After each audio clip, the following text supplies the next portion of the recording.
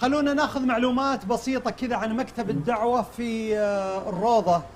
هذا المكتب أسس عام 1413 آه، كان بموافقة من سماحة من سماحة الشيخ عبد العزيز بن باز الله يغفر له ويرحمه وكذلك بتزكية من الشيخ محمد بن عثيمين ومن سماحة المفتي آه، الشيخ عبد العزيز آل الشيخ وكذلك الشيخ عبد الله بن منيع عضو هيئة آه، كبار العلماء وكذلك عندهم مناشط كبيرة ومتنوعة وعندهم ترجمة لكثير من اللغات آه، والمناشط الدعوية وإقامة المحاضرات والدروس العلمية ومشروع عندهم جميل جدا المشروع الفقهي في الدين.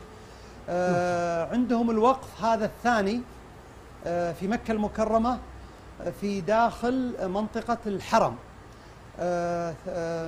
الآن وصلوا ما شاء الله تبارك الله من تغطية إلى 60% من المبلغ.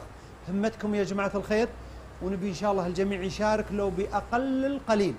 وأنتم على أجر وعلى فضل وعلى خير بإذن الله عز وجل. وقف الروضة بمكة.